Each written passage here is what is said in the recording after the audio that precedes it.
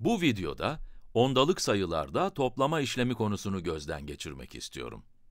Video boyunca karşılaştığınız soruları önce kendi kendinize çözmeye çalışmanızı istiyorum.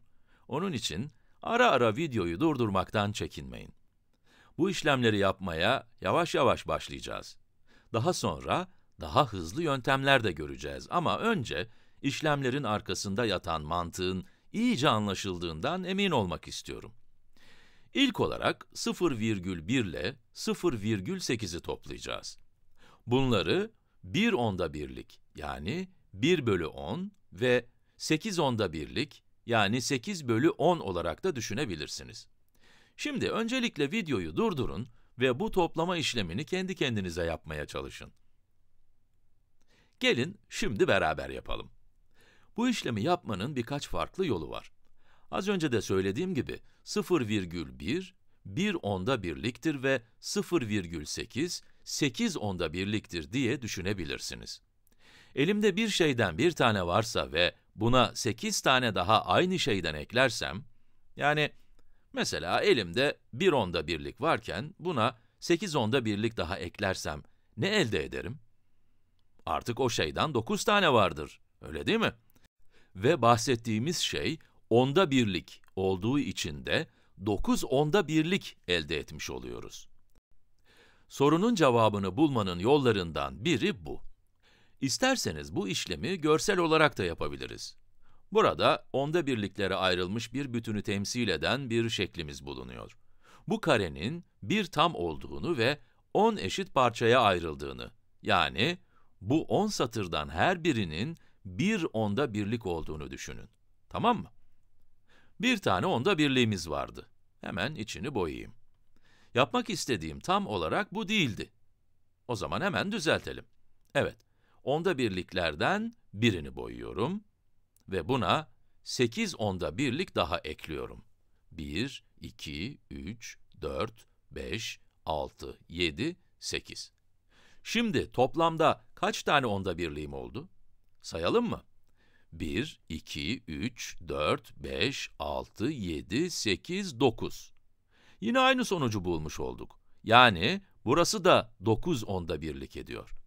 Peki 9 onda birliği ondalık bir sayı olarak yazmak istersek ne yapmamız gerekir? Onda birler basamağına yani virgülden sonraki ilk basamağa 9 koyarsak elimizde 9 tane onda birlik bulunduğunu ifade etmiş oluruz. Evet, 9 tane onda birlik. Bir tane daha soru yapalım mı? Önce şunları bir sileyim ve farklı bir renk kullanayım. Evet, diyelim ki kalemim çalışmak istemiyor. Bir saniye. Sanırım oldu. Ah, olmamış. Heh, şimdi oldu. Diyelim ki 3 onda birlikle 9 onda birliği toplamak istiyoruz. Sonuç ne olur dersiniz? Az önce kullandığımız mantıkla, eğer bu 3 onda birlik, bu da 9 onda birlikse ve eğer bunları toplamak istiyorsak, elimizde bir şeyden 3 tane varken buna 9 tane daha eklersek, 3 artı 9, 12 edeceği için, o şeyden 12 tane elde ederiz, öyle değil mi? İşlemin sonucu 12 onda birlik.